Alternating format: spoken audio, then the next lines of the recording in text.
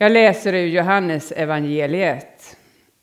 Jesus for över till andra sidan av Galileiska sjön, eller Tiberias sjön. Mycket folk följde efter därför att de såg de tecken han hade gjort genom att bota de sjuka. Och Jesus gick upp på berget och satte sig där med sina lärjungar. Det var strax före judarnas påskhögtid. När Jesus lyfte blicken och såg att så mycket folk var på väg till honom sa han till Filippos. Var ska vi köpa bröd så att alla dessa får något att äta? Det sa han för att pröva Filippos. Själv visste han vad han skulle göra. Filippos svarade. Det räcker inte med bröd för 200 denarer om de ska få en bit var. En av lärjungarna, Simon Petrus bror Andreas, sa Här är en pojke som har fem kornbröd och två fiskar. Men varför slår det till så många? Jesus sa Låt folket slå sig ner. Det var gott om gräs på den platsen. Och de slog sig ner, det var omkring fem tusen män. Jesus tog brödet, tackade Gud och delade ut åt dem som låg där och likaså av fiskarna så mycket de ville ha. När de hade ätit sig mätta sa han till lärjungarna Samla ihop bitarna som har blivit över så att ingenting förfars. Då samlade de ihop dem och fyllde tolv korgar med bitar av de fem kornbröden som hade blivit över när de hade ätit. Då människorna såg vilket tecken han hade gjort så sa de Detta måste vara profeten som ska komma hit till världen. Men Jesus, som förstod att de tänkte tvinga honom med sig för att göra honom till kung, drog sig undan till berget igen i ensamhet.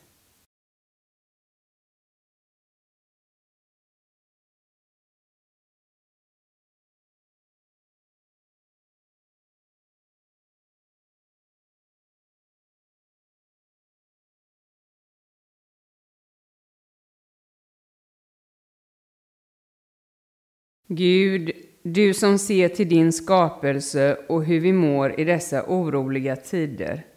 Förbarma dig över oss i Karlskoga. Vi kommer inför dig i bön och vägledning och ber om att vi ska orka att hålla i och hålla ut, att bidra till att inte smittan sprider sig mer. Inte bara för vår egen skull utan även för våra nära och kära skull. Vi ber om mod, vishet och vägledning för dem som har ett övergripande ansvar för hela vårt Sverige. Regering, riksdag, olika myndigheter. Och vi lägger särskilt de styrande i Karlskoga i dina händer. Vi ber om ett klart och tydligt ledarskap där fokus är det gemensammas bästa. Gud, vi ber för dem som arbetar inom hälso och sjukvården i Karlskoga, inom kommunen och regionen, och vi ber för alla som arbetar med vårt bästa för ögonen. Vi ber för alla som drabbas av sjukdomar, av covid och för alla som känner oro. Förbarma dig över oss alla, våra nära och kära. Vi ber om läkedom och din frid som övergår allt förstånd. Ge oss kraft att stödja varandra och hjälp oss att finnas till för varandra här i Karlskoga. Vi ber för hela din världsvida kyrka, för Svenska kyrkan och alla våra församlingar i Karlskoga. Hjälp oss att tjäna dig och våra medmänniskor. Ge oss kreativitet och en vilja att hitta nya vägar att vara stöd till människor här. Låt din heliga Ande vägleda oss steg för steg i allt detta i vår Herres Jesu Kristi namn. Amen.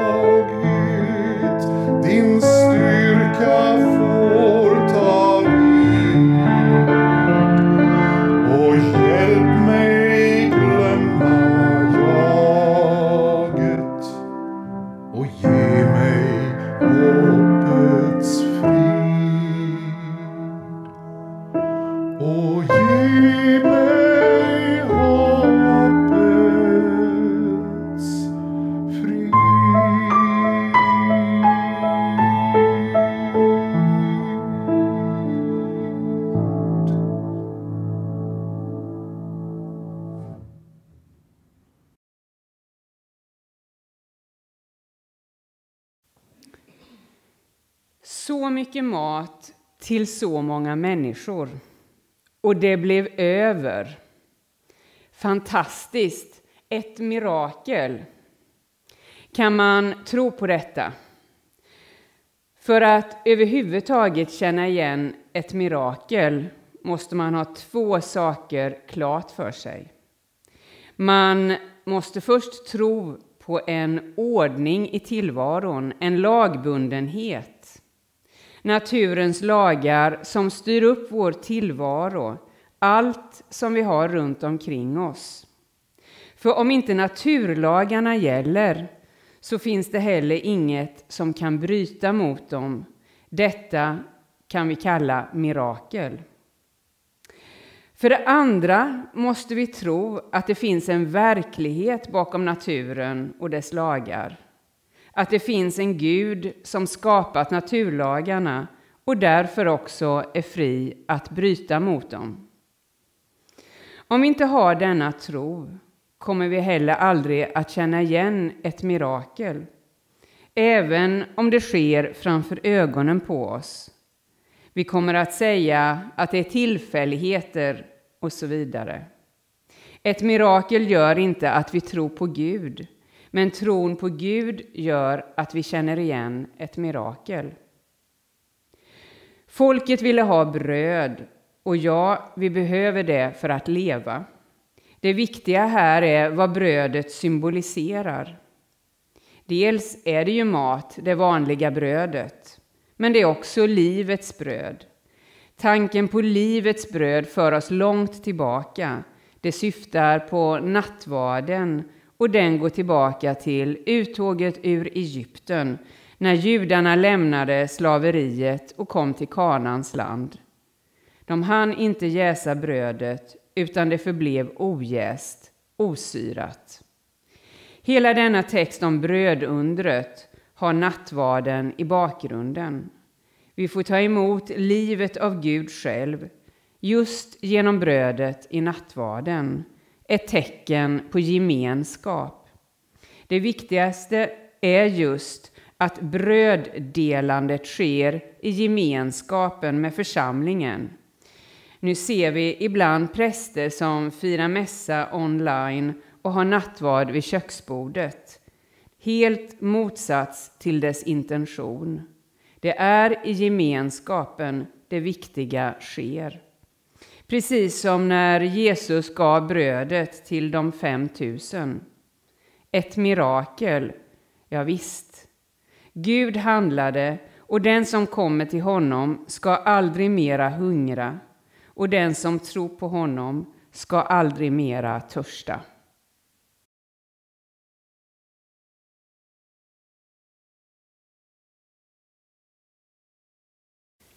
Fader vår som är i himmelen. Helgat var det ditt namn. Tillkommer ditt rike. Ske din vilja så som i himmelen, så och på jorden. Vårt dagliga bröd giv oss idag och förlåt oss våra skulder så som och vi förlåta dem oss skyldiga äro. Och inled oss icke i frestelse, utan fräls oss ifrån ondo. Ty riket är ditt och makten och härligheten i evighet. Amen.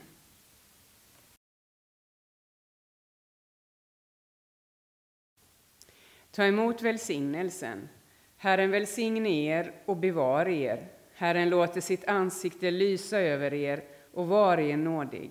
Herren vände sitt ansikte till er och ger sin frid i Faderns, Sonens och den helige Andes namn. Amen.